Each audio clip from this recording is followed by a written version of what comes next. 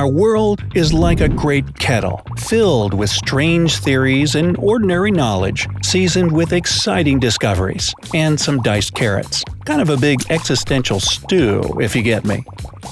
For example, recently I discovered the existence of special super big parachutes for airplanes. It got me thinking, if even an airplane can have a parachute of its own, why don't they supply each passenger on a flight with a personal parachute? Wouldn't it save hundreds of lives should a crash happen? Well, apparently the answer is no, it wouldn't. But every commercial airliner has a life jacket under each seat. So why not shove a little parachute in there as well? Now, now, have some patience, my friend, because to answer this question, we'll have to talk about some parachuting basics. So, picture right now you're on a plane that's taking you to a height of, oh, say, 3,500 to 10,000 feet, depending on what kind of jump you're on. For beginner solo jumps, the lower heights are best, while student and tandem jumps happen at a higher altitude. Oh, by the way, before the jump, you should have completed a crash course of ground instructions that last about 4 to 5 hours. Hmm, maybe crash course isn't the best choice of words here. Anyway, this is when potential parachutists learn how to prepare to climb out of the door to exit the aircraft, maneuver their body in the air, and which hand signals will tell the instructor that they've changed their mind and want to get the heck back in the plane. Still with me? Okay. Now imagine the aircraft has climbed to the necessary altitude and is ready to dump its precious cargo, and that would be you. Skydivers plan to leave the plane either in groups or all alone. They then attempt some fun maneuvers during any freefall portion. Then, when it's time to deploy their parachutes about 2,000 feet off the dirt, they try to keep a distance of several hundred feet between each other, and you can probably guess why. Right, so that their parachutes don't get tangled up mid-jump. Happened to me once, no biggie. I use my reserve chute to land safely. Always carry a spare. Now, one more thing. Only specially trained and equipped skydivers jump from altitudes higher than 15,000 feet. Otherwise, you risk a lack of oxygen, which can lead to confusion at critical times, like when you're approaching the ground at 120 miles per hour and you need to do something about it. And finally, a typical sport parachute and harness weighs about 15 pounds and doesn't come cheap all the equipment a skydiver needs to own can cost from 6,000 to $9,000. So keep all these facts in mind, and let's finally figure out why it's tough to supply every single passenger on board a commercial aircraft with a personal parachute. Some of the most popular commercial airliners these days belong to the Boeing 737 family. On average, these planes can fit about 200 people, including the crew. So, let's do some math. Obviously, it's impossible to fit a 4-hour skydiving course in a 10-minute long pre-flight instruction. This means that passengers would have to watch the video for how to strap on a chute correctly and what to do during the jump on their own. Also, not all people are great at following instructions. Really. Then there's the stress and panic that would break out as soon as the plane got into trouble.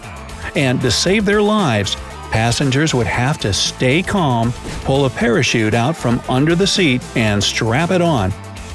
All while keeping oxygen masks pressed to their faces and seatbelts fastened. Good luck with that. Experts claim that most people wouldn't hmm. even get as far as to get a hold of their chutes. Next, remember I told you that skydivers go down one by one or in small groups so they don't collide with one another mid-jump? On board a commercial airplane that's going down, there would be about 200 panicking people. Do you think they would patiently wait for their turn to exit the plane? The next issue relates to the combined weight of the parachutes on the plane. If each of the 200 passengers on board had a 15-pound parachute of their own, it would add more than 3,000 extra pounds to the flight's weight. And the heavier a plane is, the more fuel it burns, and the more you pay for your ticket. On top of that, all this equipment would take way too much precious space, and you would have even less legroom, however impossible that might sound. Moving along, using a parachute to save your life only makes sense if your plane goes down mid-flight. But if we have a look at the statistics between 2003 and 2012, just 9% of fatal commercial airplane crashes happened while the plane was at cruising altitude. The rest of them occurred during takeoff or landing, where it's too low for a parachute to work. Also, when a crash happens mid-flight, in most cases, the culprit is a thunderstorm or a gusty wind. Skydiving in such conditions is extremely dangerous anyway. But wait, there's more! First, the plane would be moving too fast for the passengers to leave it without smacking the side of the aircraft. And secondly, do you still remember what height is considered safe for skydiving? Right, no higher than 15,000 feet without supplemental oxygen. But a plane's average cruising altitude is about 35,000 feet, and about minus 60 degrees. That's why, if you decided to leap off the plane mid-flight, you'd need a special mask, oxygen tank, helmet, flight suit, and altimeter to survive in the thin air. And while an airline company might consider placing a parachute under each seat, squeezing in all the additional equipment is out of the question. Plus, I'm thinking that the airlines could likely charge you for a parachute, just like an extra check bag or a meal. So, in the same row of seats, you'd have those folks with parachutes sitting next to those without. Wow, can you just imagine the conversations mm. over that? As you can see, parachutes on board would turn out to be completely useless in the case of an emergency. But how about a whole plane parachute? As I've mentioned before, there are parachutes that can carry a small plane. So, what's the catch? Why can't we just hook a giant chute on a commercial jetliner and forget all about plane crashes? The most famous producer of whole plane parachutes is Miami-based BRS, which stands for Ballistic Recovery Systems. Its founder started this business after the glider he was flying plunged into a lake 500 feet below. Luckily, the man survived and began to look for ways to make aviation safer. So far, the largest plane equipped with a parachute can carry five people at the most. Parachutes on such planes get stored inside the fuselage, either above the cockpit or behind the back seat. If there's an emergency, a pilot just needs to pull a handle located in the ceiling over their head, and presto, a large parachute deploys over the aircraft. The descent rate immediately slows down.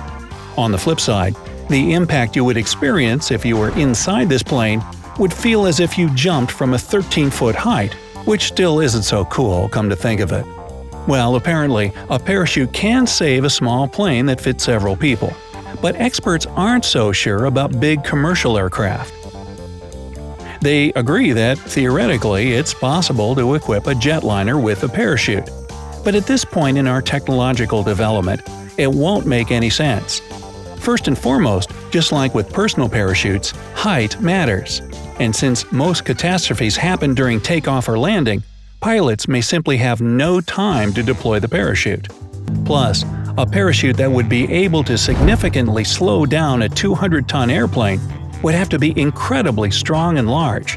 As you understand, that also means it would be super heavy. Besides, for a large plane, it would have to be not one parachute, but a system of chutes. And now picture this a Boeing 747 which can carry about 400 passengers, would have to be equipped with 21 parachutes, and each of them would be the size of a football field. Unfortunately, that's just totally unrealistic.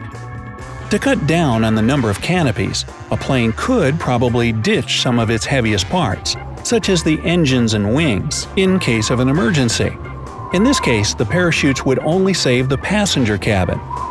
Interestingly, the idea of a detachable cabin was first suggested by Gleb Kotelnikov, a Russian inventor in the 1920s. He proposed a mechanism that, in case of a crash, would cut the wings with large blades and then separate the cabin into several parts, each attached to its own parachute. Such a design was not only supposed to reduce the speed of the fall, but also save lives during landing and takeoff accidents. And guess what? This more than nine decade old plan is our best hope to ever equip airplanes with parachutes. Not anytime soon, but one day, definitely. Finally, a quick personal story. A long, long time ago, before airport security and even before backpacks, I used to go on vacations, which included skydiving, and I would always wear my parachute into the cabin when boarding, rather than check it as baggage. They're expensive, you know. Well, you should have seen some of the looks I got from other passengers. And I would always respond the same way. So, I guess you haven't flown this airline lately. And they would always laugh, a little nervously. So, how about you? Would you dare jump with a parachute? Or maybe you've done it already. Hey, let me know down in the comments. If you learned something new today, then give this video a like and share it with a friend. We have over 2,000 cool videos for you to check out. Stay on the bright side of life.